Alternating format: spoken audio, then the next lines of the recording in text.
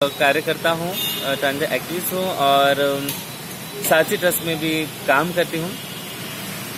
आज supreme court ने जो 377 और समलैंगिक समाज के ऊपर जो उन्होंने इतना सुंदर डिसीज़न लिया है कि मैं तहे दिल से धन्यवाद करती हूँ कि कारण इसके पहले सुप्रीम कोर्ट हाई कोर्ट इन्होंने कहा था कि समलैंगिक होना ये गुनाह है, एक ये अपराध है, ये आरोपी है। पर आज के जजेस ने आज चारों जजेस ने आज समाज के ऊपर जो कलंक का जो टिप्पणी लिखी थी जो मुद्दा धब्बा लगा था उन्होंने मिटा दिया है। और मैं तह दिल से धन्यवाद कहती हूँ कि उनका ये डिसीज़न सुन के कि समलैंगिक होना यह गुनाह नहीं है।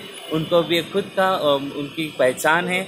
उनको भी खुद के समाज में रहने की आ, आ, आ, क्या बोलते इसको? समाज में रहने की यह है।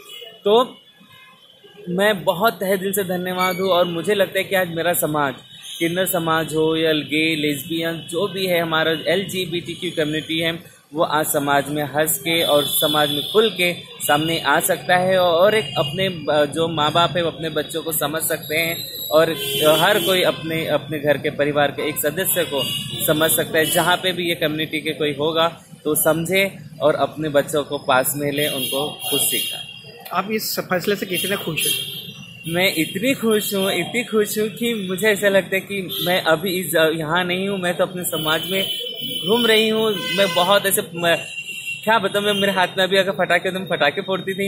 या कुछ बलून होते थे, बलून या फ्लावर्स होते थे, मैं उसको फेंकते हुए रास्ते से निकली होती थी। पर मैं आज इधर बहुत अच्छा लग रहा है सर, बहुत अच्छा।